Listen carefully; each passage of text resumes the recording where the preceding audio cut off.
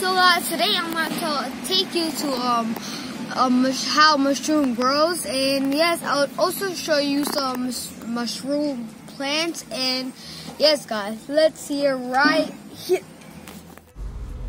Guys this mushroom plant is made of blocks instead of uh, bricks power and powered by um, uh, solar energy.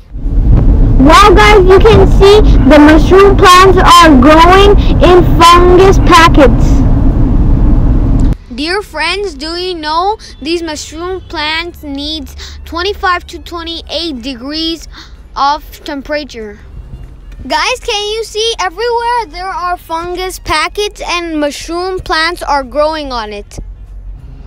This plant needs sustainable temperature inside, and these can also be maintained in villages.